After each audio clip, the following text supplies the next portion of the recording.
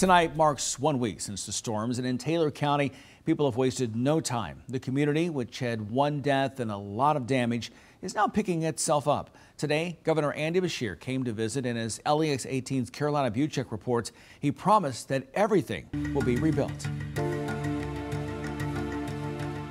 Taylor County also took a big hit by these storms.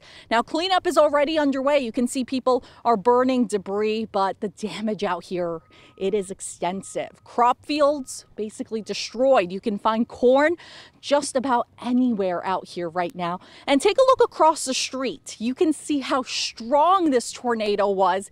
It basically snapped these trees in half, and there are hundreds of them in Taylor County that look just like this. Then there are the homes. Some have been leveled to the ground, others have been badly damaged. In total, more than 70 homes and structures, like very old barns, were damaged in Taylor County.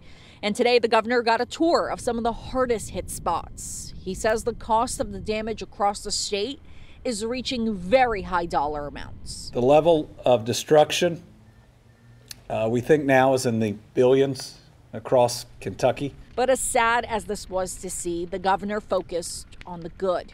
Neighbors helping neighbors. He says people are already deep into cleaning up, and he says there's something therapeutic about seeing all of the debris disappear.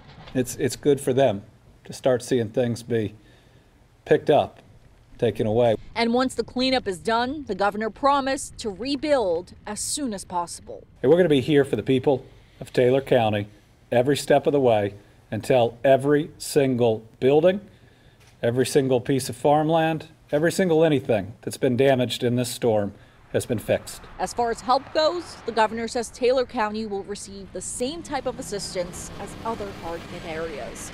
And that help is coming soon. In Taylor County, Karolina Buczek, LEX 18 News.